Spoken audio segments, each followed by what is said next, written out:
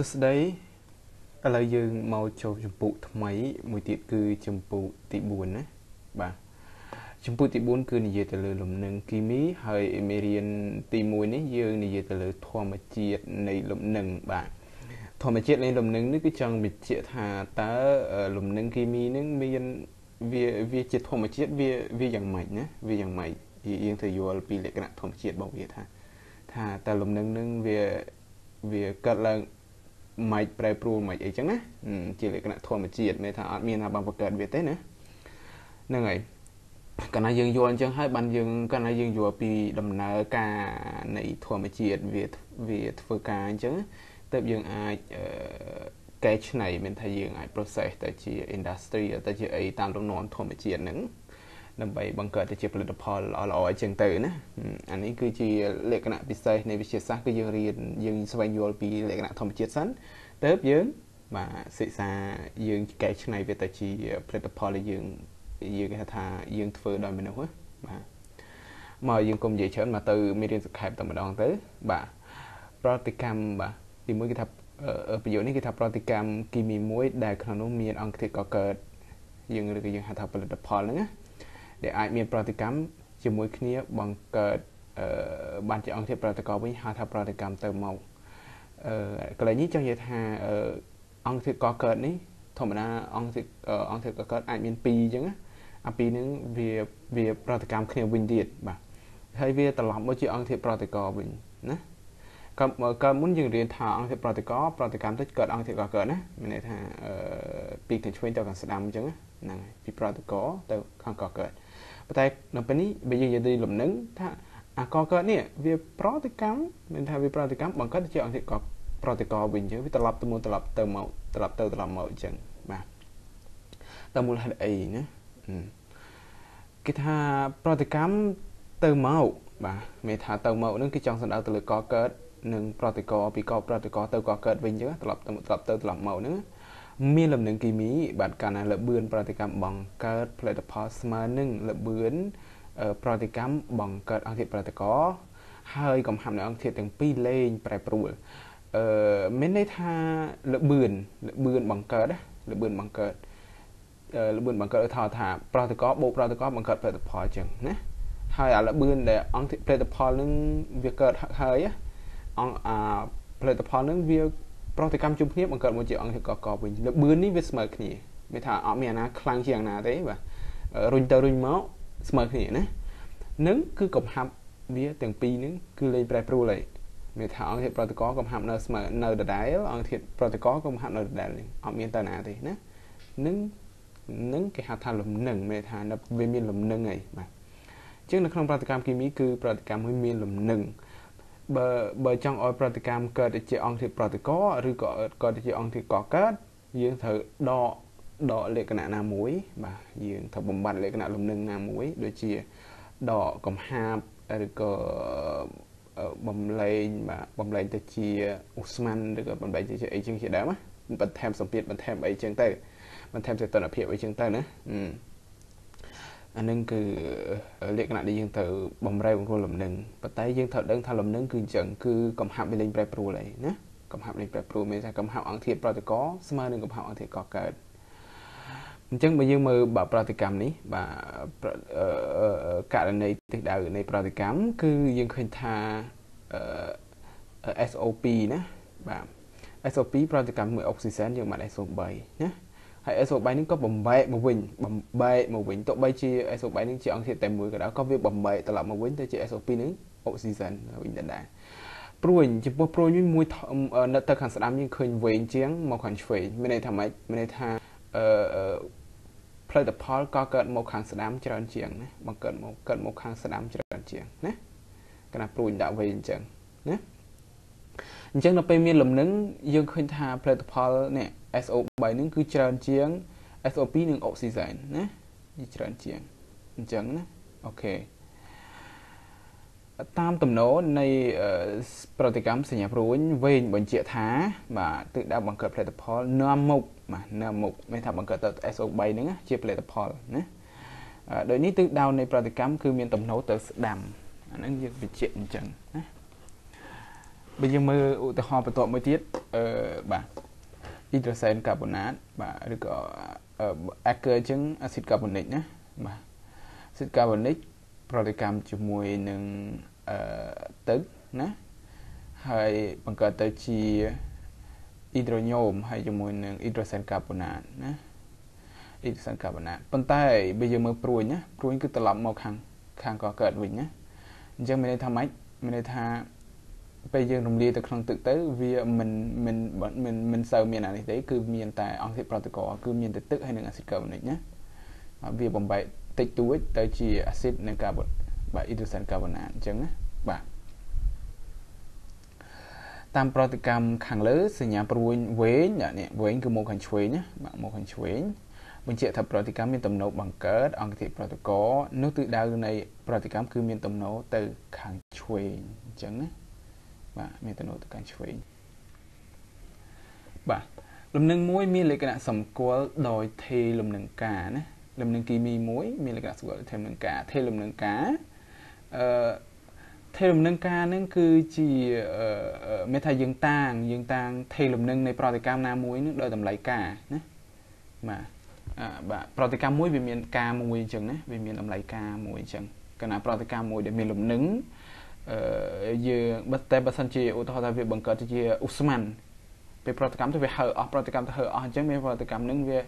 វាអត់វាអត់មានលំនឹងទេមានថាវាទៅអស់ហើយអញ្ចឹងវាអត់មានការទេប៉ុន្តែតម្លៃការគឺភាគច្រើនគឺប្រតិកម្មមានថាវាទៅមកទៅមកគឺមានន័យថាវាបំបីទៅអង្គធាតុប្រតិកោហើយអង្គធាតុប្រតិកោហ្នឹងក៏អឺសំទោសបំបីទៅអង្គធាតុកកើតអង្គធាតុកកើតហ្នឹងក៏ប្រតិកម្មត្រឡប់មកជាអង្គធាតុប្រតិកោវិញអញ្ចឹងណាថេលំនឹងគឺមិនអាស្រ័យទៅនឹងកំហាប់កំហាប់ចំពោះកំហាប់អង្គធាតុប្រតិកោគឺមិនអាស្រ័យទេប៉ុន្តែវាអាស្រ័យទៅសីតុណ្ហភាពវិញពីព្រោះ យើងថែមកំហាប់បើថាយើងថែមអង្គហាប់អង្គធាតុប្រតិកោអញ្ចឹងវានឹងខ្លាយជាអង្គធាតុកកើតអញ្ចឹងនៅពេលយើងសេស្មីការថេលំនឹងគឺយើងយកអាកោកើតចែកអង្គធាតុប្រតិកោអញ្ចឹងយើងបំលែងខ្លាំងចែកទៅតម្លៃវាថេមួយដដែលអញ្ចឹងប៉ុន្តែបើសិនយើងថែមសីតុណ្ហភាពកាលណាយើងថែមសីតុណ្ហភាពវានាំឲ្យអឺអង្គធាតុប្រតិកោនឹងកកើតខ្លាំងទៅខាងអង្គធាតុកកើតអញ្ចឹង បាទក៏កើតខ្លាំងជាងសីតុណ្ហភាពធម្មតាអញ្ចឹងវាប្រែប្រួលទេធ្វើឲ្យតម្លៃប្រែប្រួលតម្លៃការនៅតែសីតុណ្ហភាពនីមួយៗប្រែប្រួលអញ្ចឹងណាយើងមើលឧទាហរណ៍យើងតាំងចុះយើងតាំងថាប្រតិកម្មធាតុ A និងធាតុ B អញ្ចឹងហើយអឺមេអេតូចនៅខាងមុខហ្នឹងគឺយើងតាំងដោយមេគុណវាណាមេគុណ stoichiometry ឬក៏នៅពេលយើងថ្លឹងស្មៃការយើងយើងត្រូវការចំនួនយើងយើងមិនគុណនឹង យើងយើងមិនដាក់មេគុណណាយើងដាក់មេគុណ1មេគុណ2មេគុណ2មេគុណ3អញ្ចឹងណាដើម្បីតម្រូវដើម្បីដើម្បីថ្លឹងស្មៃការអញ្ចឹង A A តូច B តូចហ្នឹងគឺជាមេគុណហើយណាមេគុណហើយហើយឧទាហរណ៍ថាវាកើតទៅជាអង្គធាតុ C ហើយនិង D អញ្ចឹងណាហើយ CD CD តូចហ្នឹងគឺជាមានគុណដូចគ្នាណាអញ្ចឹងយើងសេយើងយើងអាចសរសេរថេលំនឹងវាយ៉ាងម៉េចថេលំនឹងវាយើងអាចសរសេរបានថាការបាទយើងតាំងដោយអក្សរការទៅហើយយើងយក យកអង្គធាតុប្រតិកោ C និង D នេះគឺជាអង្គធាតុប្រតិកោយើងយកកំហាប់ណាយើងយកកំហាប់យើងយកកំហាប់ហើយយើងយកកំហាប់មួយនឹងយើងចែកសំទោសយើងយើងដាក់ស្វ័យគុណនឹងមេគុណរបស់វាឧទាហរណ៍ថាកំហាប់សេអញ្ចឹងបើមានបើមានមេគុណសេមានមេគុណសេយើងដាក់មេគុណឲ្យយើងដាក់ជាធ្វើជាស្វ័យគុណហើយយើងគុណនឹង D បាទយើងគុណនឹង D ដែលជាអង្គធាតុប្រតិកោបើសិនមាន E ទៀតយើងគុណនឹង E ទៀតអញ្ចឹងណា E សេគុណ E ទៀតអញ្ចឹងណាហើយ E ហ្នឹងគឺជាមេគុណឧទាហរណ៍ថា D ហ្នឹងមេគុណវា2អញ្ចឹងយើងដាក់កំហាប់ D ស្វ័យគុណ2ណាអានេះគឺស្មេកាហើយយើងចែកអីគេយើងចែកទៅនឹងបាទអឺកំហាប់នៃអង្គធាតុប្រតិកោបាទបើសិនជាអង្គធាតុប្រតិកោយើងមាន2យើងគុណមកបាទ A គុណនឹង B ចឹងមកហើយ A តូចហ្នឹងគឺជាស្វ័យគុណដែលជាមេគុណរបស់ A ហ្នឹងយើងដាក់បាទដាក់ជាស្វ័យគុណអញ្ចឹងទៅបាទ ពីព្រោះវាជាមេគុណ stoichiometry ណាយើងយើងហៅជាពាក្យបច្ចេកទេសថាជាមេគុណ stoichiometry បាទសួស្តីឥឡូវយើងមកចូលមកដល់កាន់សំណួរហើយនឹងលំហាត់ដើម្បីបន្ថែមសំណួរទី1ដែលយើងគេអាចសួរនៅក្នុងជំពូកមេរៀននេះគឺតើអ្វីទៅជាលំនឹងគីមីបាទបើយើងគិតទៅលើលំនឹងបាទ គីមីមានអីទេក្រៅពីប្រតិកម្មអញ្ចឹងលំនឹងគីមីគឺចង់សំដៅទៅលើប្រតិកម្មគីមីដែរដែលវាមិនប្រែប្រួលទៅខាងអង្គធាតុប្រតិកឬក៏មិនប្រែប្រួលទៅខាងអង្គធាតុកកើតទេគឺវាថេវានឹងអញ្ចឹងយើងអាចឲ្យនិយមន័យបើបើយើងយល់យើងឲ្យនិយមន័យមកថាលំនឹងទីនេះគឺជាលំនឹងនៃប្រតិកម្មណានៃប្រតិកម្មទៅមកបាទទៅមក គេថាប្រតិកម្មនេះគឺជាប្រតិកម្មទៅមកទៅមកគឺចង់សម្ដៅថាវាបើថាទៅគឺបង្កើតបានជាអង្គធាតុប្រតិកអង្គធាតុកកើតបើសិនជាយាមកគឺសំដៅទៅលើត្រឡប់មកជាអង្គធាតុប្រតិកវិញអញ្ចឹងណាដែលក្នុងនោះល្បឿននៃប្រតិកម្មបង្កើតផលិតផលស្មើនឹងល្បឿននៃប្រតិកម្មបង្កើតអង្គធាតុប្រតិកវិញណាល្បឿនបង្កើតនឹងគឺតែដូចគឺគឺស្មើគ្នាបាទទាំង បង្កើតផលិតផលទាំងបាទខ្លាយទៅជាអង្គធាតុប្រតិកវិញគឺបាទគឺដូចគ្នាហើយកំហាប់របស់អង្គធាតុទាំងពីរលែងប្រែប្រួលណាគឺកាលណាវាក្លាប់ទៅក្លាប់ឡើងទៅគឺលែងប្រែប្រួលហើយ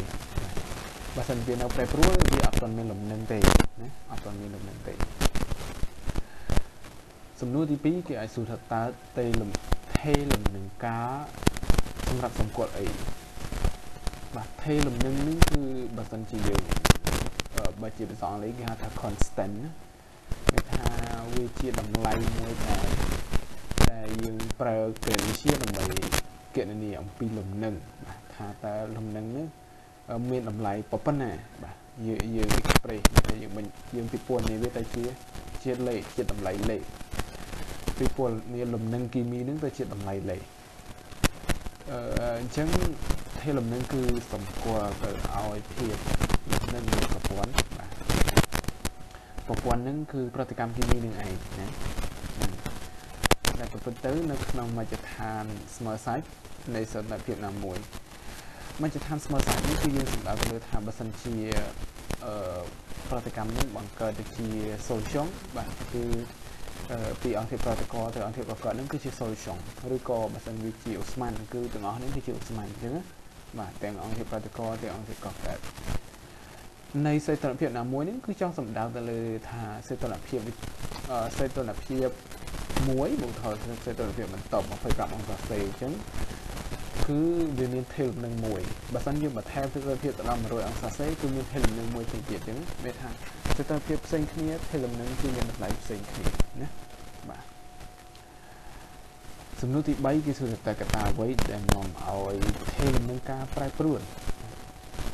ចឹងកត្តាដែលធ្វើធ្វើនឹងការប្រែប្រួលបាទបើយើងបើយើងយល់ពីសំណួរទី2នេះចម្លើយនៃសំណួរទី2យើងដឹងហើយថាគឺសកម្មភាពណាសកម្មភាព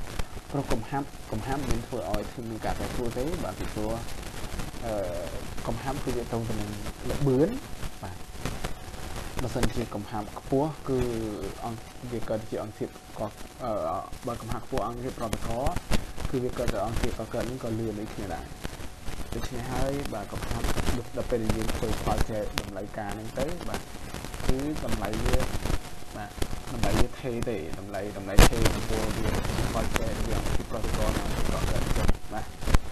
អញ្ចឹងមានតែសេដ្ឋភាពទេដែលធ្វើឲ្យប្រែប្រួល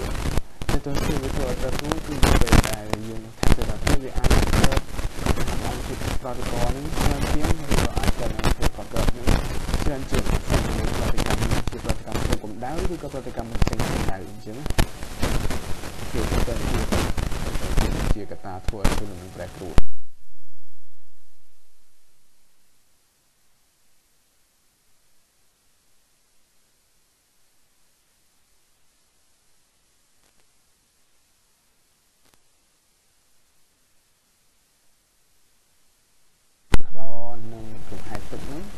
ចេះឲ្យអង្គធាតុប្រតិកដែលមានជាអាស៊ីតក្លូរីកនិងអុកស៊ីហ្សែនបាទអញ្ចឹងយើងអាចសរសេរថេលនឹងការបានហើយបាទអញ្ចឹងយើងអាចដាក់មកសរសេរកន្សោមថេលំនឹងគីមីដោយយើងសរសេរស្មីការមកបាទ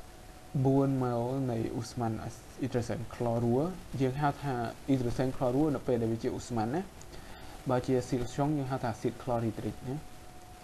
បូកជាមួយនឹងអូស្ម័នអុកស៊ីហ្សែនយើងបានទៅជាអូស្ម័នក្លនិងចំហាយទឹកណាជាអូស្ម័នទាំងអស់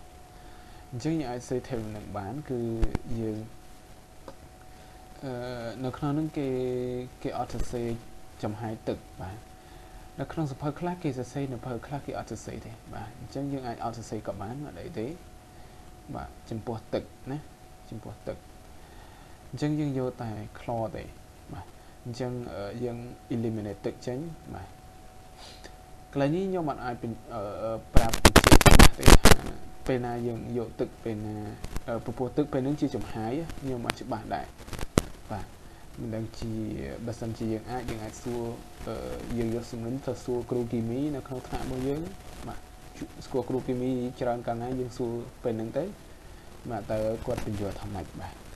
តើទឹកកន្លែងនេះគួរដកចាញ់ឬក៏គួរគួរគុណបញ្ចូលឬក៏អត់ណាយកតម្លៃការមកបាទប៉ុន្តែយើងដឹងហើយយើងត្រូវយកខាងស្ដាំចែកឲ្យខាងឆ្វេងបាទតែយើងយកកំហាប់បាទអឺតាមពិតអឺដោយសារវាជាអូស្មန်យើងខ្ញុំអត់ច្បាស់ថាយើងត្រូវយកកំហាប់ឬក៏បើតាមយោបល់ខ្ញុំខ្ញុំគិតថាជា pressure តម្លៃការជា pressure អញ្ចឹង បាទប៉ុន្តែសម្ពាធក៏យើងអាចគិតនាមកជាកំហាប់បានដែរដោយសារយើងតាម PVNAT អញ្ចឹងអូខេអញ្ចឹងយើងអាចសរសេរអញ្ចឹងក៏បានដែរពីព្រោះចម្លើយខ្ញុំខ្ញុំឃើញក្នុងសភៅគេសរសេរអញ្ចឹងក៏ខ្ញុំ copy មកអញ្ចឹងដែរទៅដោយមិនបានច្បាស់ការឲ្យបានគេស្រាវជ្រាវបន្ថែមទៀតទេបាទសំទោសក្នុងកន្លែងហ្នឹងអឺបើសិនមានយោបល់អីមានយោបល់អីអាចសរសេរ comment ពីក្រោមវីដេអូមកក៏បានដែរ បាទ consumption នឹងបន្ទាប់ទៀតក៏ជាអូស្មန်ដែរនៅក្នុងនោះអត់មានទឹកទេដូច្នេះយើងយកបាទយើងយើងមើលនៅខាងនេះវាមាន2 molecule អញ្ចឹងយើងគុណណាយើងគុណអញ្ចឹងដូចគ្នាដែរខាងនេះយើងត្រូវយកកំហាប់បាទកំហាប់អ៊ីដ្រូសែនគុណនឹងកំហាប់អ៊ីយ៉ូតមកបាទហើយចែកឲ្យកំហាប់បាទអ៊ីដ្រូសែនអាយ៉ូដៃណាអូខេ ចឹងយើងសរសេរថេលំនឹងមកបាទយើងបានថេលំនឹងបាទយើងគុណពីព្រោះវាមាន2 molecule បាទគុណទៅយើងចែកឲ្យអង្គធាតុប្រតិកោអញ្ចឹងធម្មតាទេយើងចាំតែប្រព័ន្ធអញ្ចឹងយើងអាចត្រូវហើយទី6ទី6គឺគេមានអាស៊ីតក្រូទិកជាអាស៊ីតខ្លាំងនៅក្នុងនេះគេបំបែកទៅក្នុងទឹកបាទ ហើយវាបំបែកទៅជាអ៊ីយ៉ុងក្លននិងអ៊ីយ៉ុងអ៊ីដ្រីញ៉ូមអញ្ចឹងបើទឹកកន្លែងនេះទឹកកន្លែងនេះយើងអត់ប្រសេចូលទេបាទយើងដឹងហើយវាជា liquid អូខេអានេះខ្ញុំច្បាស់ថាវាអត់សរសេរចូលតែខ្ញុំធ្លាប់រៀនប៉ុន្តែអាមុនមិញខ្ញុំអត់ច្បាស់ទេអញ្ចឹងយើងអូខេចូលសរលបងពិចារណាតម្លៃធានមកានៃប្រតិកម្មខាងលើតើតម្លៃការអាចត្រូវនឹងតម្លៃណាមួយគឺ10សេគុណ12 10សេគុណ13ឬ10សេគុណ15ឬធំណាណាតម្លៃការតើ ធំឬតូចណាឲ្យពិចារណាអញ្ចឹងយើងពិចារណាមកថាតើតម្លៃការជាតម្លៃមួយណាណាជាតម្លៃមួយណាដោយសារវាជា acid chlorhydric អញ្ចឹងហេតុផលវាគឺជា acid ខ្លាំងវាបំបែកទាំងអស់មកមកគឺតម្លាក់ចូល acid chlorhydric ចូលក្នុងទឹកទៅបំបែកទៅជា hydrogen មក chlor នឹងមកណាបំបែកទាំងអស់អញ្ចឹងតម្លៃការវាគឺធំអាយើងអាចវាមិនមែនជាប្រតិកម្មទៅមកទៀតទេប្រតិកម្មហ្នឹងគឺបំបែក បើយើងវាស់ទៅយើងលែងឃើញ acid chlorhydric ទៀតទេនៅក្នុងហ្នឹងមានតែទឹកហើយមានតែ hydrogen ហើយនេះពីយ៉ាង chlor ហ្នឹងទេណាគឺបំបែកអស់អញ្ចឹងតម្លៃធំណាស់ដោយសារយើងគេបញ្ជាក់ឲ្យថាជាអាស៊ីតខ្លាំងគេបញ្ជាក់ឲ្យកន្លែងនេះទៅជាគេឲ្យបញ្ជាក់ក៏យើ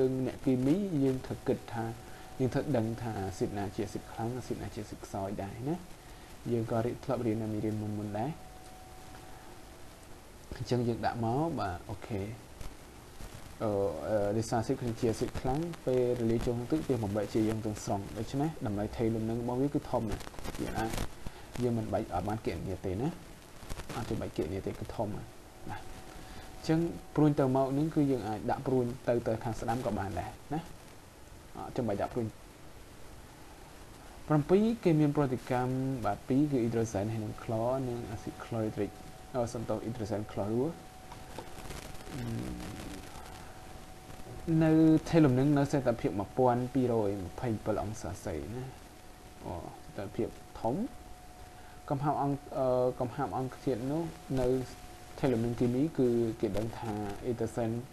ហើយនឹងអ៊ីយ៉ុងក្លសំដៅអូស្ម៉ាន់ក្លគឺមានប្រព័ន្ធនឹងមកហើយបាទ etasen ក្លរូដូចជាដូចជា ផលិតផលហ្នឹងគឺយើងដឹងប៉ុណ្្នឹងមកបាទ662.5គុណដល់ស្គូល13មកក្នុង1លីត្រយើងស្គាល់កំហាប់អញ្ចឹង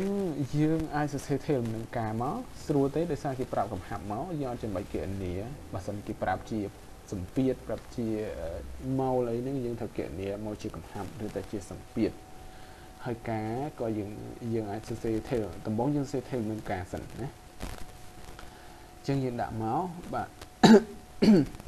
យើងអាចរីតម្លៃមកសេតភាពប៉ុណ្ណឹងកំហាប់មានប៉ុណ្ណឹងណាកំហាប់ហ្នឹងគេប្រាប់ហើយមានលំនឹងហើយហើយណាមានលំនឹងហើយហើយអញ្ចឹងយើងបានតម្លៃការយើងយកអឺយើងយកខាងអង្គធាតុកកើតយើងដឹងត្រូវយកខាងស្ដាំជានិច្ចខាងស្ដាំហ្នឹងបាទចែកឲ្យអង្គធាតុប្រតិកហើយមេគុណហ្នឹងយើងលើកជាស្វ័យគុណណា លើកជាស្វ័យគុណជាងយើងជួសតម្លៃលេខចូលមកគណនាអឺបើអត់ចេះគណនាក៏ចុច Casio ទៅខ្ញុំមិនដឹងថាម៉េចដែរបាទព្រោះខ្ញុំអត់ចេះអត់ចេះគណនាដែរខ្ញុំធ្លាប់តែចុច Casio អូខេប៉ុន្តែខ្ញុំ recommend ឲ្យគណនាទៅរៀនគណនាទៅព្រោះអ្នកបកកែគណិតបាទគណនាចោះ19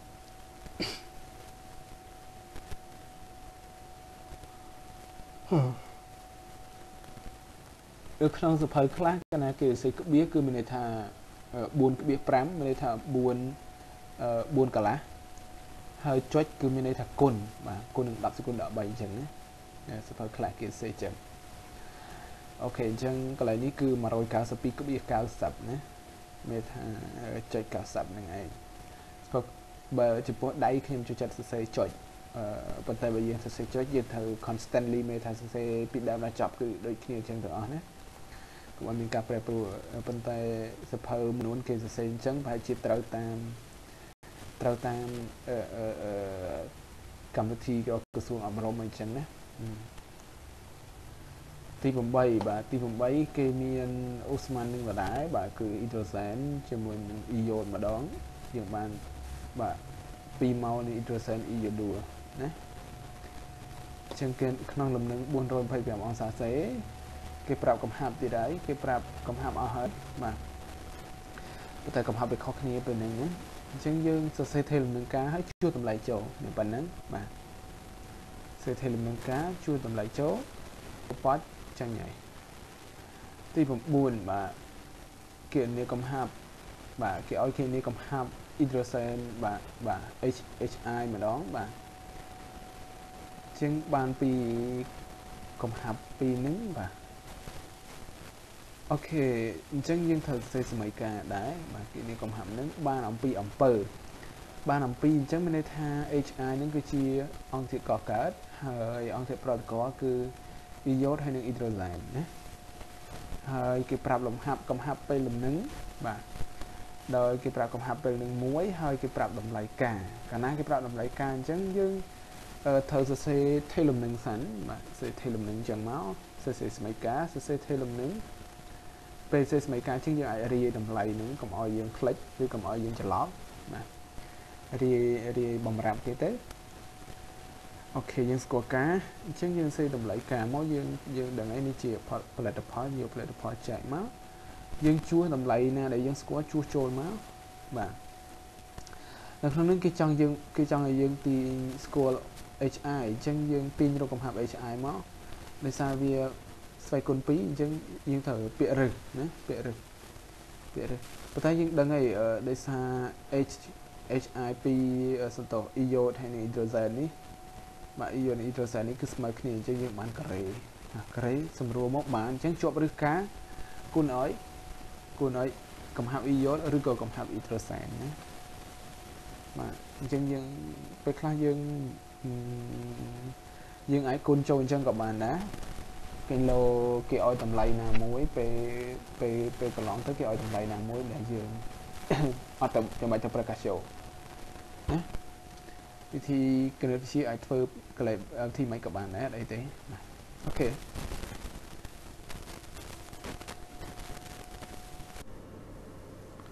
បាទនៅក្នុងលំហាត់ទី10បាទលំហាត់ទី10 លបាយអ៊ូស្មានមួយផ្សំដោយអ៊ូស្មានអាសូតបាទអ៊ីត្រូសែន2នឹងគឺអ៊ូស្មានអាសូតបាទជាមួយនឹងអ៊ូស្មានអ៊ីត្រូសែនហើយអាម៉ូញ៉ាណាអាម៉ូញ៉ាក៏ជាអ៊ូស្មានហើយក៏ជាសារធាតុរាវដែរប៉ុន្តែដោយសារអឺចំណុចរំពោះរបស់វាទៀបអញ្ចឹងវាងាយជាអ៊ូស្មាននៅក្នុងសេតនភាពបន្ទាប់ហ្នឹងអបាយនេះមានលំនឹងគីមីនៅសេតនភាព 773 K បាទ K គឺអឺយើងគិតទៅលើ Kelvin បាទកំហាប់អង្គធាតុនីមួយៗនៅពេលមានលំនឹងគឺយើងបានកំហាប់ឧស្ម័នអាសូតគឺយើងមានប៉ុណ្ណឹង0.602ម៉ោលយើងគិតជាម៉ោលក្នុង1លីត្រចំពោះកំហាប់ហើយឧស្ម័នអ៊ីដ្រូសែនគឺ0.42ម៉ោលក្នុង1លីត្រហើយនឹងអូស្មန်អាម៉ូញ៉ា 113ម៉ូលក្នុង1លីត្របាទនេះគឺជាកំហាប់ហើយនេះគឺជាຂណាតកំហាប់សំណួរគេគឺថាគេសួរថាចូលកំណត់រថេលំនឹងនៃប្រតិកម្មកំណត់រថេលំនឹងហើយគេឲ្យសមីការមកប៉ុណ្ណឹងណាសមីការគេគឺអាសូតបូកជាមួយនឹងអ៊ីត្រូសែនយើងបានអាម៉ូញ៉ាយើងប្រើអ៊ីត្រូសែន3ម៉ូលទទួលបានអាម៉ូញ៉ា2ម៉ូលបាទ អូខេបាទអញ្ចឹងយើងដាក់មកចម្លើយបាទគឺយើងគណនាថេលំនឹងការបាទថេលំនឹងការថ្មី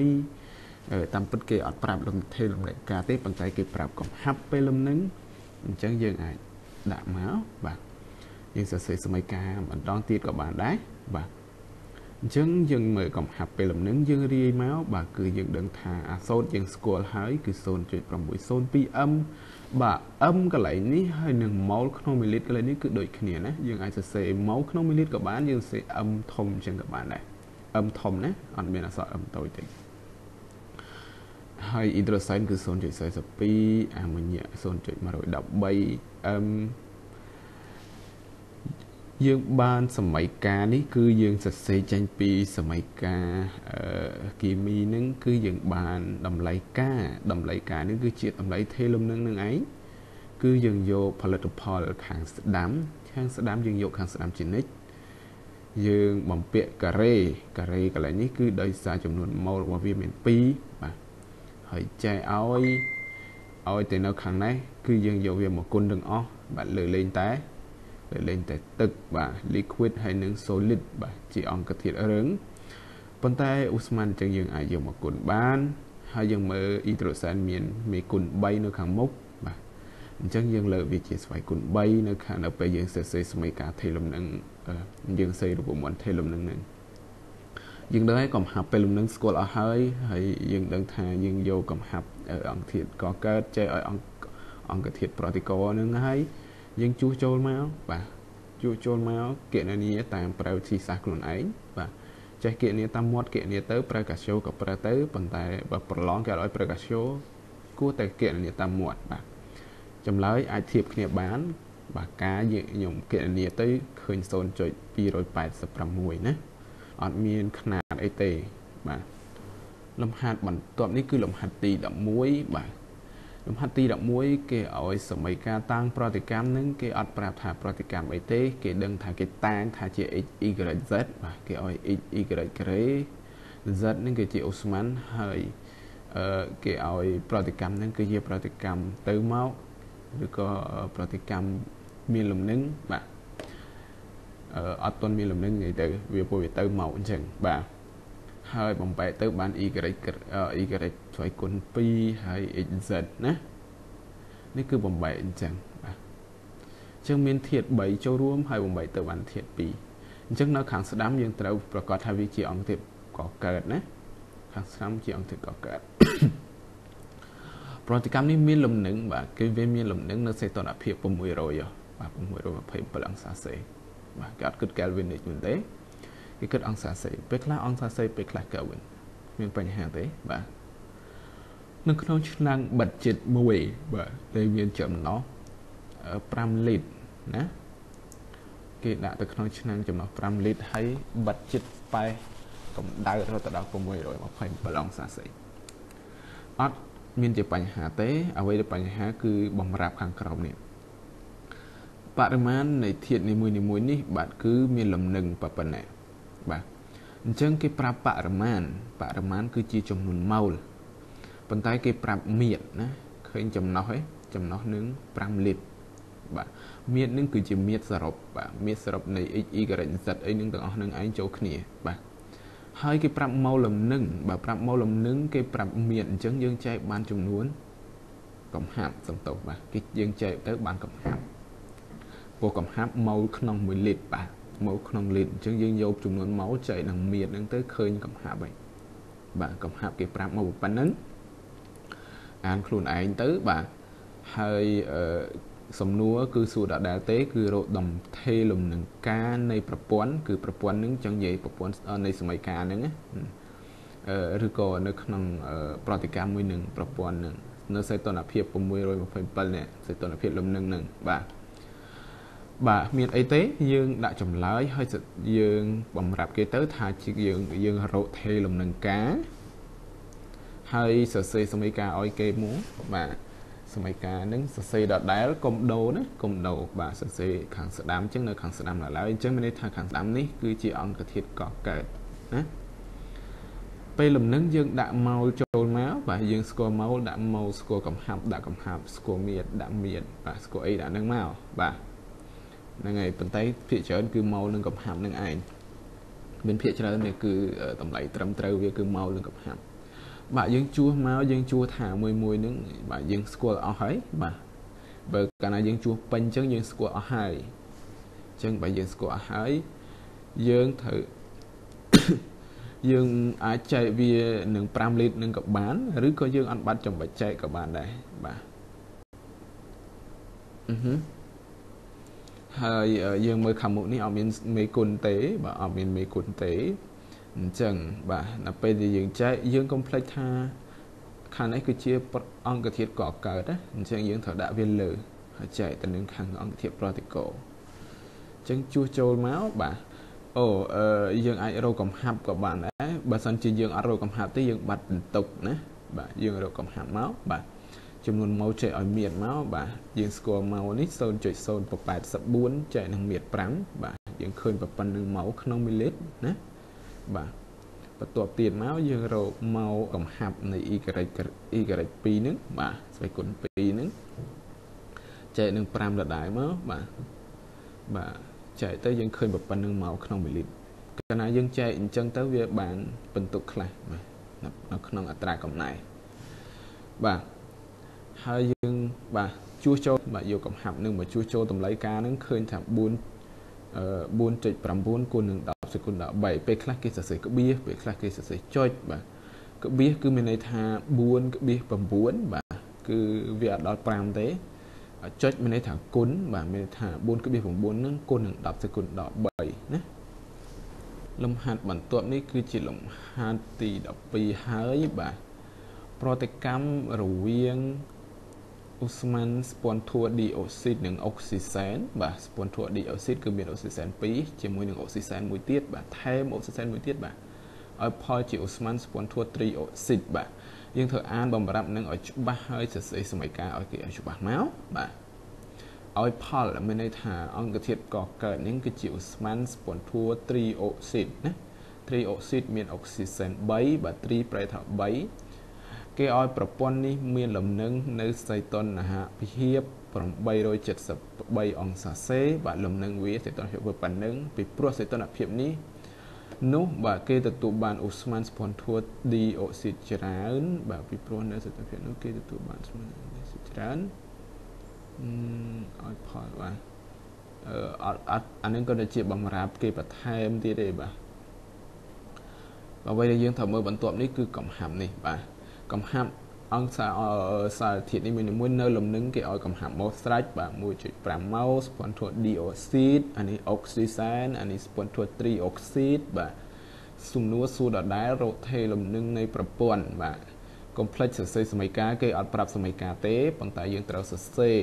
ដាក់ចម្លើយមកបំរាប់គេមកថាយើងចង់រកអីរកអំឡេការនេះថេលំនឹងការនៅសេតនភាពប៉ុណ្ណេះបើអង្គសាសេឬក៏ Kelvin គឺខុសគ្នាណាបាទអានេះគឺអង្សាសេអានេះ Kelvin ខុសគ្នាទេបាទអញ្ចឹងបំលែងពីអង្សាសេមក Kelvin គឺត្រូវត្រូវបូកដកតម្លៃទៀតណាបាទអញ្ចឹងអឺខុសកន្លែងនឹងមួយកុំមើលកន្លែងខុសមើលកន្លែងត្រូវចុះបាទសម័យកាលយើងគឺបាទ spontor dioxide នេះបាទបូកជាមួយអុកស៊ីសែនបាទបាទជា spontor trioxide បាទថ្លឹងសម័យកាល2 2បាទស្មើគ្នាអឺ ថ្លឹងសម័យកាលស្មើគ្នាមិនមែនថាមានលំនឹងទេណា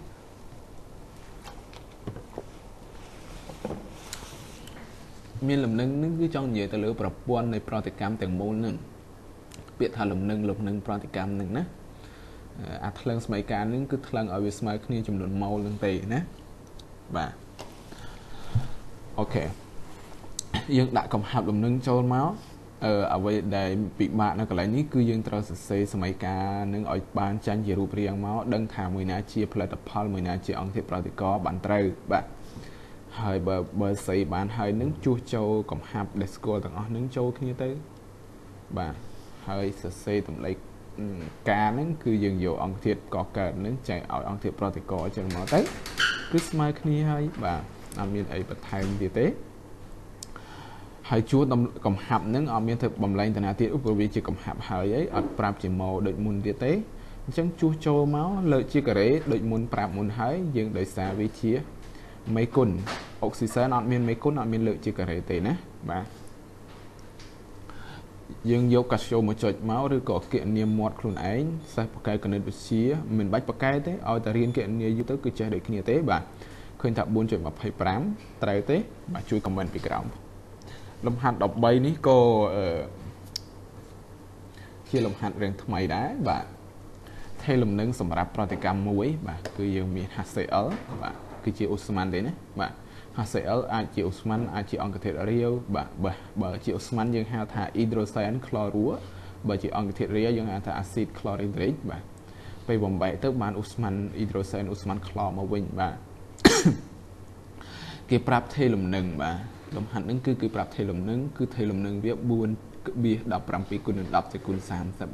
34ថេលំនឹងវាបាទថេលំនឹងអឺនៅសីតុណ្ហភាព25អង្សាសេបាទគឺអត់មានស្ថិរភាពទេបាទអត់អូខេអញ្ចឹងយើងស្គាល់ថេលំនឹងចូលរកថេលំនឹងបាទសម្រាប់ប្រតិកម្មនេះវិញបាទ ចុះបើសិនជាអានេះហាស់អ៊ីដ្រូសែនហើយនឹងក្លនឹងគឺជាអង្គធាតុកកើតត្រូវអត់តែនៅពេលគេឲ្យប្រតិកម្មបញ្ច្រាស់មកវិញគឺអង្គធាតុ2នេះទៅជាអង្គធាតុប្រតិករវិញ HCl នឹងក៏ជាអង្គធាតុកកើតវិញនៅសេតភាពដដែលហ្នឹងបាទថេលំនឹងវាយ៉ាងម៉េចបាទថេលំនឹងវាយ៉ាងម៉េចយើងមើលទៅវាបញ្ច្រាស់គ្នាហើយអញ្ចឹងតម្លៃថេលំនឹងគឺប្រកាសជាវិញបញ្ច្រាស់ហើយបាទអញ្ចឹងមានន័យថាមានន័យថាម៉េច អឺមានន័យថាយើងត្រូវបញ្ច្រាស់នៃតម្លៃតម្លៃការដែលគេឲ្យមុននឹងបាទទៅយើងឃើញយើងឃើញថេលំនឹងថ្មីនៃសម័យកាលបញ្ច្រាស់នឹងវិញហើយឃើញសម័យកាលនឹងបញ្ច្រាស់ទេបាទឃើញណាអូខេបាទយើងមកមើលចម្លើយទាំងអស់គ្នាឬក៏អាច post video សាកធ្វើចម្លើយនឹងខ្លួនឯងបន្តិចសិនទៅបាទបាទចម្លើយប្រតិកម្មបាទបាទយើងឲ្យមកបាទ យើងឲ្យប្រតិកម្មដែលគេឲ្យខាងមុខនឹងមកបាទ 2Cl នឹងណាបាទទៅជា hydrogen និង chlor គេឲ្យតម្លៃការអញ្ចឹងយើងដាក់ការចូលមកបាទចុះមកក្រុមទៀតបាទថេកញ្ញាថេលំនឹងសម្រាប់ប្រតិកម្មមកបាទអញ្ចឹងបាទប្រតិកម្មដែលយើងចំពុងគណនាថេលំនឹងរោនឹងគឺប្រតិកម្មបញ្ច្រាស់នៃប្រតិកម្មដែលគេឲ្យខាងលើនេះអញ្ចឹងបាទយើងអាចសរសេរមក ការព្រីមបាទការព្រីមនេះគឺជាថេលំនឹងថ្មីដែលយើងកំពុងចង់រោនឹងហើយការនេះមួយលើការនឹងគឺការដែលគេឲ្យបំរាប់មកដោយសារប្រតិកម្មវាដូចគ្នាគ្រាន់តែជាគ្រាន់តែជាប្រតិកម្មបញ្ច្រាស់ចុះបញ្ច្រាស់ឡើងទេដោយសារវាបញ្ច្រាស់គ្នាអញ្ចឹងមកអញ្ចឹងយើងបានការព្រីមស្មើមួយលើការបាទយើងស្គាល់តម្លៃការយើងតម្លៃការចែកឲ្យមួយទៅមួយចែកតម្លៃការទៅបាទឃើញថាស្មើឲ្យ0.24គុណនឹង10សេគុណ34ណាបាទ អូខេបាទលំហាត់បន្ទាប់នេះលំហាត់ទី14គឺឲ្យយើងពិចារណាអំពីលំនាំបង្កើតលំនឹងនៃប្រតិកម្មសីតុណ្ហភាព700អង្សាសេដូចខាងក្រោម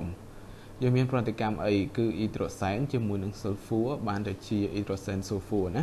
ដោយសារវាជាឧស្ម័នយើងហៅថាអ៊ីដ្រូសែនស៊ុលហ្វូទៅណាអ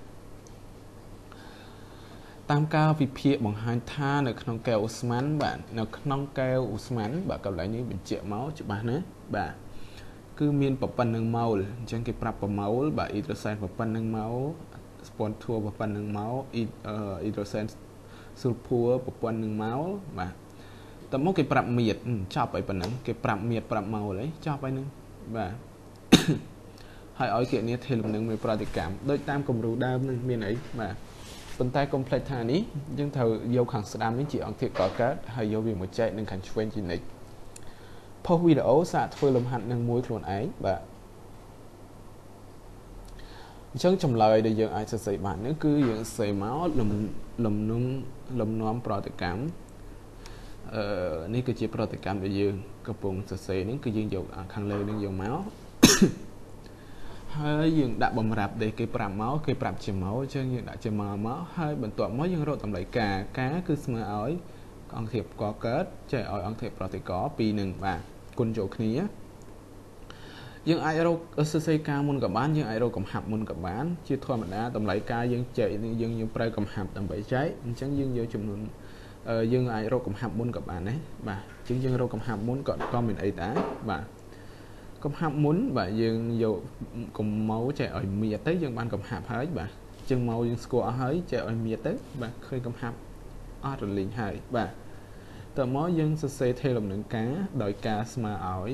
អ៊ីដ្រូសែនសូភួរហើយនឹងចែកឲ្យអ៊ីដ្រូសែនគុណនឹងសូភួរអ៊ីដ្រូសែននិងអ៊ីដ្រូសែនសូភួរមានមេមានស្វ័យគុណ2ស្វ័យគុណដោយសារមានមេគុណខាងមុខបាទដោយសារមានមេគុណខាងមុខ ជួសតម្លៃកំហាប់ដែលយើងក៏បានរកមុននឹងយកមកជួសចូលមកឃើញការស្មើនឹង1.0.79គុណនឹង10សគុណ7ណាអូខេអឺបើយើងចែកមាត់វាមិនអាចឃើញ0ក្បៀសច្រើនប៉ុណ្ណឹងទេបាទអាចសូត្រ1ក្បៀស1អីចឹងទៅណាមិនជាបញ្ហាទេអឺឲ្យទៅត្រូវក្បាលត្រូវអីហ្នឹងក៏បានបន្ទុកដែរ ឲ្យរៀនចែកនឹងមាត់ទៅបើសិនជាគេប្រឡងអត់ប្រកាសយោណាលំហាត់ទី15នេះគឺកែវមួយដែលផ្ទុកអូស្មានអឺអាម៉ូញ៉ាបាទអូស្មានអាសូតអូស្មានអ៊ីដ្រូសែនអឺស្ថិតនៅក្នុងភាគលំនឹងនិងសេតនភាពជាលះមួយគេអត់ប្រាប់ទេបាទតែដឹងថាវានៅនៅមានវាមានលំនឹងហើយអញ្ចឹងវាមានវាមានថេលំនឹងរបស់វាមួយណា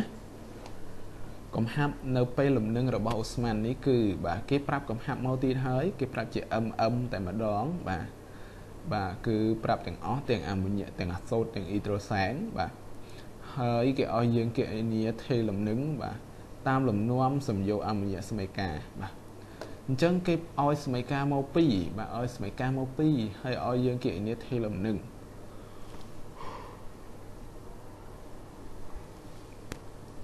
នៅសម័យកាលទាំងពីរហ្នឹងអញ្ចឹងមានអីជាបញ្ហាទៅបាទព្រោះយើងដឹងយើងចេះសរសេរសម័យកាលថេលំនឹងហើយយើងចេះសរសេររូបមន្តបាទហើយយើងដឹងថាបំរាប់គេប្រាប់មកអស់ហើយជាកំហាប់តែម្ដងបាទគឺញញឹមបិណ្ឌមាត់មិនចិត្តតែម្ដងបាទអាចផុសវីដេអូសាកធ្វើចឹងចម្លើយគឺយើងសរសេរមកសថេថេលំនឹងសម័យកាលសំយោគអាម៉ូញ៉ា ហើយយើងសរសេរសម័យកាលមួយមកសម័យកាលកគឺ អាម៉ូញ៉ាគឺស្មើឲ្យ3អ៊ីដ្រូសែនយើងទទួលបាន2អាម៉ូអាម៉ូញ៉ាសំដៅអានេះអាសូតណា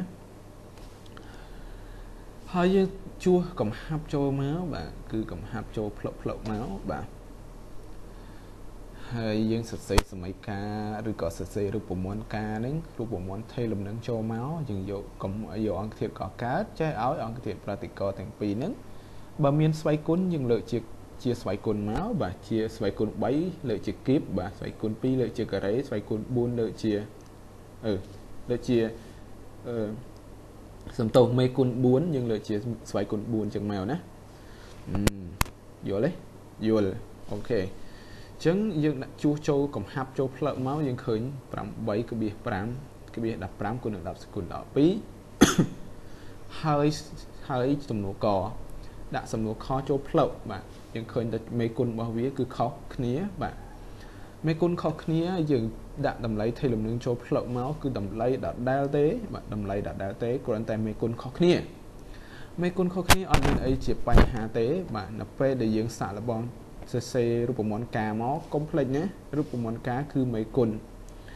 អាណាដែលបាត់មេគុណហើយគឺអត់ដាក់ស្វ័យគុណទៀតទេបាទដូចអាម៉ូញ៉ាកន្លែងហ្នឹងគឺកាលមុនមានមេគុណ2តែឥឡូវបាត់មេគុណហើយ ដោយសារយើងបន្ថយម៉ូលរបស់វាអញ្ចឹងហើយធ្វើឲ្យអាម៉ូញ៉ាហ្នឹងគឺលែងមានស្វ័យគុណហើយបែរជាអាសូតនិងអ៊ីដ្រូសែនហ្នឹងមានស្វ័យគុណអឺជាប្រភេទអីអញ្ញែអញ្ញៃបាទអញ្ចឹងត្រូវប្រើកាស្យ៉ូបើបើអ្នកចេះចេះពីប្រភេទចេះអីហ្នឹងគឺស្រួលខ្លួនទេ បាទគឺសប្បាយចិត្តតែម្ដងបាទលំហាត់នឹងប្រហែលជាសិស្សផ្សេងពិបាកនឹងធ្វើដែរបាទបើយើងអត់ធ្លាប់ជួបគឺយើងអត់ចេះធ្វើទេអញ្ចឹងយើងយើងជួសចូលប៉ុណ្្នឹងមកបាទជួសតម្លៃនឹងចូលចូលដដែលកំហាត់ដែលគេប្រាប់ខាងលើបំរាប់ខាងលើនឹងជួសចូលដដែលអត់មានប្រែប្រួលអីទេប្រែប្រួលតែមេគុណទេប៉ុន្តែយើងមើលបាទអឺការព្រីមនេះបាទនៅពេលដែលយើងចែកទៅយើងឃើញថាវាជារឹសការ៉េនៃការបាទស្មើនឹងរឹសការ៉េនៃការហេតុអ្វីបានជាស្មើនឹងរឹសការ៉េនៃការបាទ ពីព្រោះបើសិនជាយើងបច្រាស់តម្លៃបើយើងយករឹសការ៉េនៃការទៅយើងនឹងឃើញហើយបាទស្មើនឹងប៉ុណ្្នឹងបាទមានន័យថាវាតូចជាតម្លៃការពីព្រោះថាចំនួនម៉ោខាងមុខនឹងគឺយើងកាត់បន្ថយបាទហើយ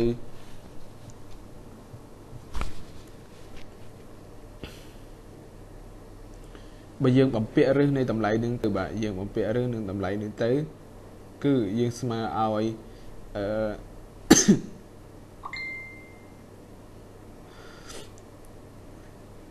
បើសិនជាយើងមិនចង់យើងអាចយកតម្លៃការនឹងចែកនឹងឬការ៉េនឹងទៅក៏បានដែរយល់ទេឬក៏យើងមានកាស៊ីយ៉ូចុចតែម្ដងទៅបាទយើងនឹងឃើញតម្លៃ0.285ហ្នឹងហើយបាទ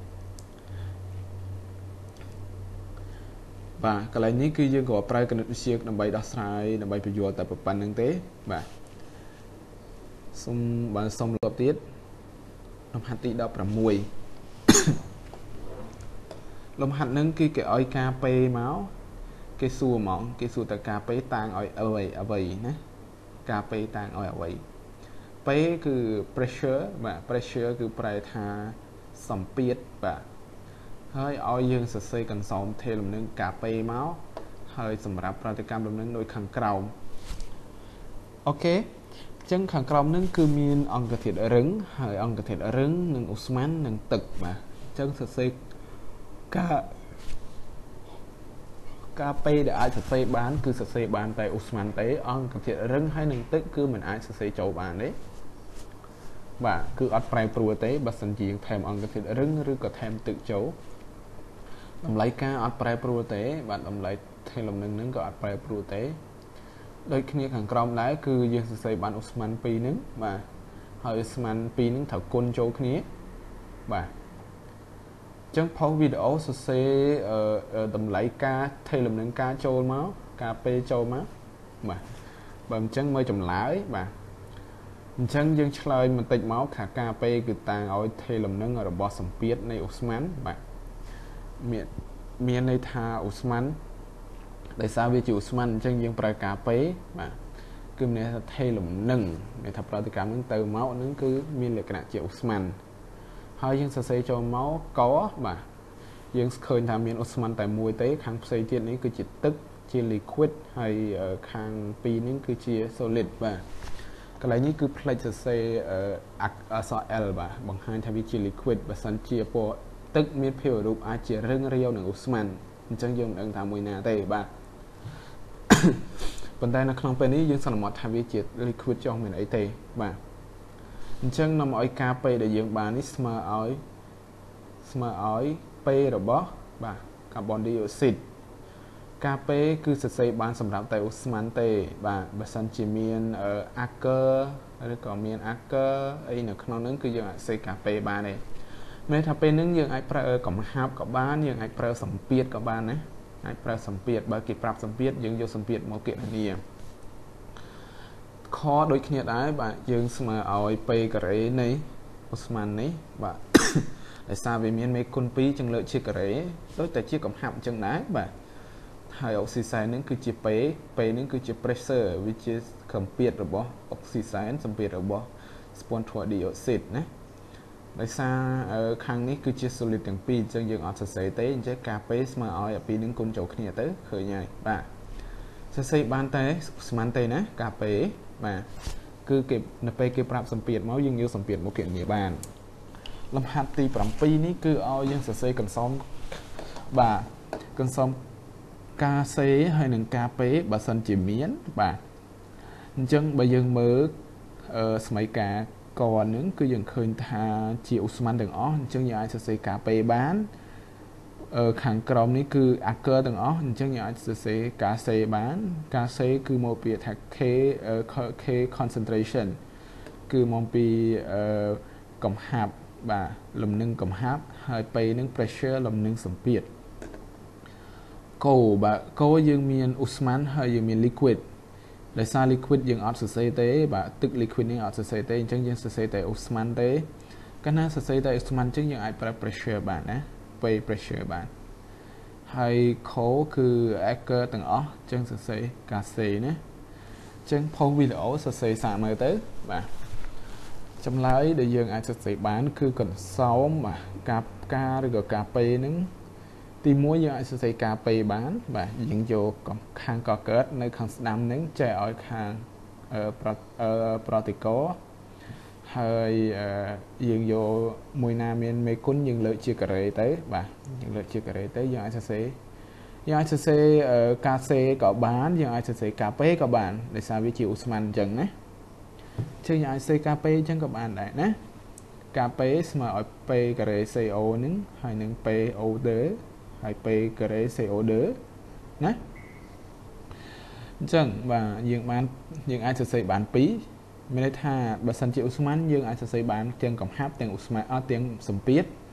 ប៉ុន្តែយើងមើលខាងក្រោមយើងអាចយើងជាកំហាប់អញ្ចឹងយើងសរសេរបានតែកំហាប់ទេយើងអាចសរសេរសម្ពាធបានទេបាទ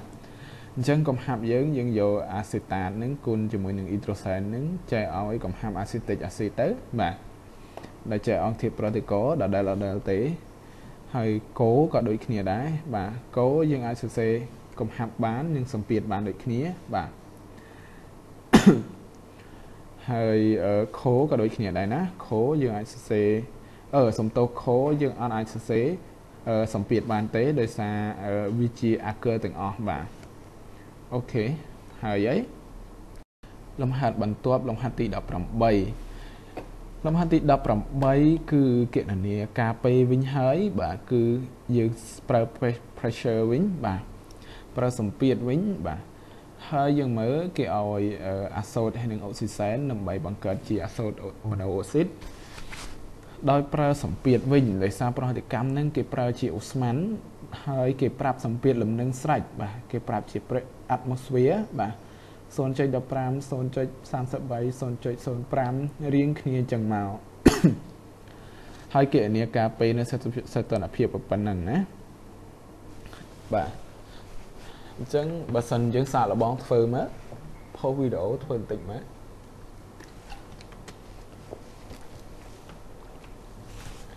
អញ្ចឹងយើងចម្លើយរបស់យើងគឺយើងប្រាប់មកគឺយើងចង់គណនាអីគណនាការពេល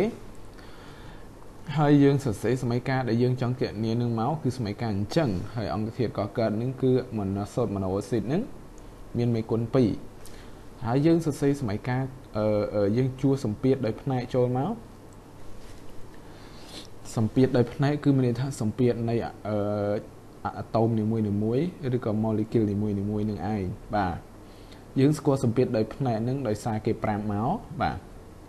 ហើយយើងអាចសរសេររូបមន្តការនឹងបាន ដោយប្រើសម្ពាធតែម្ដង គឺយើងយកសម្ពាធ n អាសូតម៉ូណូស៊ីតការ៉េនេះចេះឲ្យ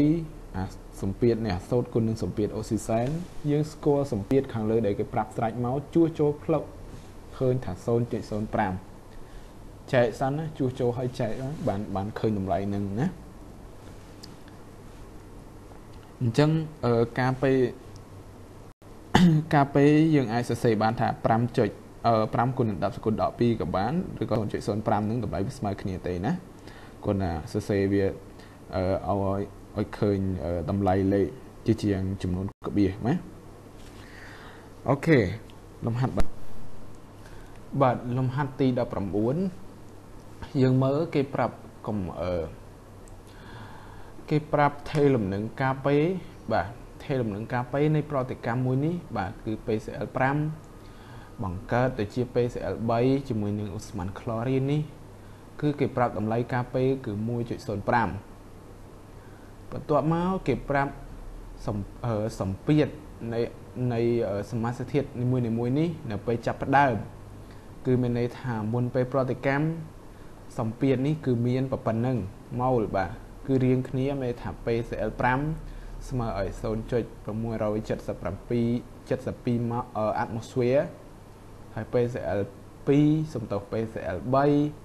ស្មើនឹង0.223អាត់ម៉ូស្ហ្វែរ CL2 នេះនេះ CL2 នេះគឺស្មើនឹង1.0.101បាទ111 atmosphere រៀងគ្នានេះគឺមានន័យថាវារៀងចឹងឯងបាទ1 2 3កំហាប់1 2 3នេះគឺដូចគ្នាទេ ហើយអ្វីដែលគេចង់បាននឹងគេចង់ដឹងថាពេលលំនឹងសម្ពាធមួយណាថយចុះបាទតើសម្ពាធអង្គធាតុពីរនេះមួយណាថយចុះបាទសម្ពាធមួយណាកើនឡើងហេតុអ្វីឲ្យពន្យល់ទៀតសំណួរនឹងគឺចាក់ដតមែនទែនបាទអត់បាទអត់ប្រាប់សម្ពាធពេលពេលអឺក៏កើតទេអត់សំទោសពេលលំនឹងទេប៉ុន្តែប្រាប់ថេលំនឹងអញ្ចឹងអ្វីដែលយើងអាចធ្វើបាន គឺយើងត្រូវរកសម្ពាធមុនពេលលំនឹងនេះ ឬក៏ពេលចាប់ផ្ដើមដំបូងអត់ទាន់មានប្រតិកម្មហ្នឹងរកសម្ពាធរបស់វាពេលរកឃើញអឺសំទោសរកថេលំនឹងរបស់វាណាពេលរកឃើញថេលំនឹងតាមរយៈសម្ពាធដែលប្រាប់មកនេះហើយយកវាទៅធៀបជាមួយនឹងថេលំនឹងដែលគេប្រាប់ពេលលំនឹងនេះ1.05ហ្នឹងបើសិនឃើញថាវាតូចជាងបើសិនជាតូចជាងមានន័យថាមានអូស្មန်ខ្លះបាត់បង់ហើយ កាលណាមានអូស្មန်ខ្លះបាត់បង់អញ្ចឹងមានន័យថាអូស្មန်នេះបាត់បង់អញ្ចឹងអង្គធាតុដែលកកើតនឹងគឺកើតមក PCl3 និង Cl2 នឹងឯងបាទប៉ុន្តែបើធំជាងបើធំជាងមានន័យថា PCl5 កើតឡើងវិញហើយបាទបើសម្ពាធបើសម្ពាធការពេនឹងធំជាងណាអូខេផុសវីដេអូសាកធ្វើតិចមកបើយល់ បាទបើអត់យល់ចាំមើលចម្លើយចុះអញ្ចឹងយើងដឹងហើយសម័យកាលហ្នឹងគឺគឺអញ្ចឹងបាទ PCl5 ទៅជា PCl3 Cl2 chlorine បាទនៅពេលដើមយើងស្គាល់កំហាប់សំទោសយើងស្គាល់សម្ពាធនីមួយនីមួយបាទគឺយើងស្គាល់អស់ហើយសម្ពាធដោយផ្នែករបស់ចំនួនសមាសធាតុមួយមួយនេះយើងស្គាល់ហើយ ពេលលំនឹងយើងអត់ស្គាល់សម្ពាធទេប៉ុន្តែយើងស្គាល់ការតម្លៃការនឹងគឺគណនាចេញពីសម្ពាធនឹងឯងអញ្ចឹងយើងដឹងថាអូខេតម្លៃការនឹងគឺទំនាក់ទំនងវាជាមួយនឹងសម្ពាធហើយអ្វីដែលគេចង់បាននេះគឺចង់ដឹងថាណែនៅពេលការប្រព័ន្ធនេះនេះសម្ពាធមួយណាបាត់បង់មួយណាកើនឡើងណាមួយណាថយចុះមួយណាកើនឡើងបន្ទាប់មកអ្វីដែលយើងអាចធ្វើបាន គឺយើងរក តម្លៃថេលំនឹងមួយទៀតបាទយើងរកថេលំនឹងមួយទៀតអញ្ចឹងអ្វីដែលយើងយើងតាំងគួយមកយើងគួយមកជាថេលំនឹងចាប់ផ្ដើមយើងអាចតាំងអីក៏បានដែរបាទគួយ p x p ការ៉េ p y p អីចឹងក៏បានដែរបាទ ហើយយើងតាំង x មកយើងសរសេរសម័យកាលថេលំនឹងមកបាទសម័យកាលរូបមន្តថេលំនឹងគឺយើងយកអង្គធាតុប្រកោះកើតជាអង្គធាតុប្រតិកអញ្ចឹងមកអត់មានមេគុណអញ្ចឹងអត់មានការ៉េទេហើយយើងជួចូលសម្ពាធដែលគេប្រាប់អាដើមនឹងមកបាទគឺយើងកំពុងយើងកំពុងតែរកសម្ពាធដើមសំទោសយើងរកថេលំនឹងដើមយើងរកមកយើងឃើញប្រព័ន្ធនេះបាទឃើញគុយពេស្មើ0.139 បន្ទាប់មកយើងយកគុយពេនឹងធៀបជាមួយនឹងកាពេនេះយើងឃើញគុយពេនឹងថយចុះហេអឺសំទោសតូចគុយពេតូចបើសិនជាគុយពេតូចមានន័យថាម៉េចមានន័យថាពេលពេលពេលមានលំនឹងអង្គធាតុកកើតនឹងគឺកើនឡើងយល់ទេចឹងពេលមានលំនឹងអង្គធាតុកកើតគឺកើនឡើងហហើយអង្គធាតុប្រតិកគឺអឺ វាមិនសំខាន់ទេនៅពេលមានលំនឹងកាលណាការពេកធំអញ្ចឹងមានន័យថាអង្គធាតុកកើតគឺកើនឡើងពីព្រោះយើងយកអង្គធាតុកកើតចែកឲ្យអង្គធាតុប្រតិកណាអញ្ចឹងចម្លើយយើងអឺបាទយើងធៀបមកយើងដឹងថាវាវាតូចជាងអង្គធាតុការពេនៅពេលដែរមានលំនឹងកាលណាវាមានលំនឹងធំជាងអញ្ចឹងមានន័យថាអង្គធាតុកកើតនឹងគឺកើនឡើងហើយអញ្ចឹងយើងបញ្យល់មកដោយគុយពេលនេះ គឺមានន័យថាថេលំនឹងក្រោយមុនប្រតិកម្មតូចជាងថេលំនឹងពេលប្រតិកម្មចប់ឬក៏ពេលមានលំនឹងនោះមានន័យថាឈានដល់ពេលលំនឹងអង្គធាតុប្រតិកមានប្រតិកម្មឲ្យទៅជាផលិតផលឲ្យទៅជាផលិតផលមានន័យថាអង្គធាតុប្រតិកមានទំនោរបង្កើតទៅជាផលិតផលខ្លាំងមានទំនោរបង្កើតទៅជា PCL 3ហើយនិង CL 2 នឹងឯង ដូច្នេះសម្ពាធ PCL 3និង PCL 2នេះគឺកើនឡើងជាប្រកបណាបាទកាលណាមានតំណចឹងហើយ PCL 5គឺថយចុះបាទងាយទេបាទបើអត់យក comment សួរខាងក្រោមសំណួរបន្ទាប់គឺលំហាត់ទី20នៅខ្សែតនភាពជាលក្ខមួយប្រតិកម្មខាងក្រោមមានធិលំនឹងដូចតទៅ បាទគេប្រាប់ធិលំនឹងការ ការព្រីមការសកងប៉ុណ្ណឹងមកយើងមើលសម័យកាលហ្នឹងគឺបន្តបន្ទាប់គ្នាទេអឺ S បូកនឹងអុកស៊ីហ្សែនយើងបាន SO2 ឬក៏អាចបានអាចបានជា SO3 ហើយអឺអ្វីដែលគេសួរនឹងគេឲ្យចូលគណនាថេលំនឹងការ C បាទការ concentration សម្រាប់ប្រតិកម្មខាងក្រោមនៃសន្តិភាពដដែលណា សន្តិភាពដដែលនឹងសន្តិភាពដូចខាងលើអញ្ចឹងណាបាទអញ្ចឹងបើសិនជាយើងយក SO2 បូកជាង oxygen ទៅជា SO3 តើមានតម្លៃការស្មើនឹងប៉ុន្មានប្រកាសណាតម្លៃការគឺប្រកាសជាមានតំណែងតំណងរវាង SO2 និង SO3 នៃការសកុងនិងការការព្រីមនិងការសកុងនឹងឯងបាទបើយើងដឹងចម្លើយសាកសរសេរទៅ បើអត់ដឹងទេយើងសាកមកមើលចម្លើយបាទគណនាធាលំនឹងការសេសម្រាប់សម័យកាលហ្នឹងគឺយើងបាន 2SP SO2 បូកនឹងអូស៊ីសែនការនេះយើងអត់ស្គាល់ប៉ុន្តែបើយើងមើលសម័យកាលកតាដើម្បីស្រួលយើងឃើញថាកស្មើឲ្យ 2SO2 យើងបញ្ច្រាស់សម័យកាលនឹងមកបាទ 2SO2 ស្មើ 2S បូកនឹង2អុកស៊ីសែន បាទយើងចង់បាន 2SO2 ដោយសារយើងឃើញថានេះនៅខាងឆ្វេងនេះនៅអង្គធាតុកកើតនឹងឃើញបើ 2SO2 ហើយវាជាអង្គធាតុកកើតចំណែកដែលនៅកន្លងសម័យកាលដែលគេឲ្យកនឹងមកគឺវានៅខាងកកើតជាជាងនៅខាងប្រតិកោណាយើងត្រូវកលាប់ SO2 មកខាងប្រតិកោវិញណា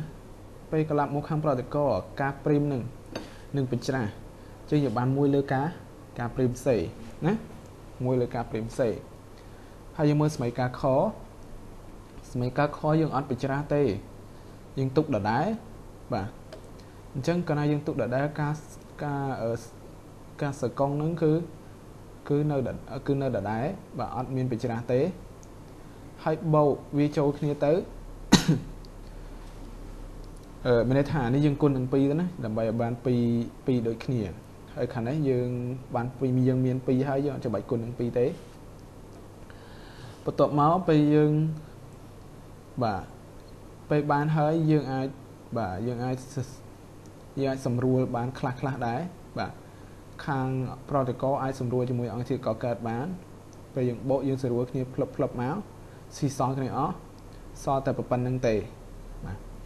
ប៉ុណ្្នឹងគឺស្មើការអញ្ចឹងការនឹងស្មើអីគេបាទ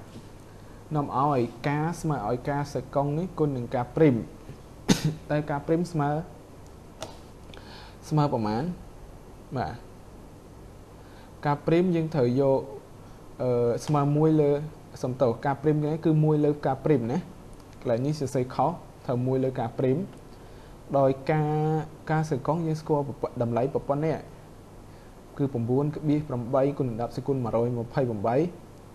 តែការសកុងគឺយើងយកវាចែកនឹង2អស់សំទោសយើងយក1ចែកនឹងការសកុងនេះដោយសារយើងគុណតម្លៃនឹងសម័យកាលទាំងមូលនឹង2អញ្ចឹងយើងត្រូវគុណចូលគុណចូលនឹងតម្លៃនេះដែរគុណទៅយើងបាន2លើការការព្រីមការព្រីមស្មើ4.2គុណនឹង10គុណ52ស្មើឲ្យ2ចែកទៅបាទអញ្ចឹងយើងចុចកាសចូលទៅយើងឃើញថាស្មើប៉ុណ្ណេះបាទគុណចូលគ្នា អញ្ចឹងតម្លៃការនៃសម័យកាលខាងក្រោមដែលយើងកំពុងរកនេះគឺស្មើឲ្យ46ក្បៀស448គុណនឹង10សេគុណ75ណាបាទអញ្ចឹងលំហាត់នេះគឺ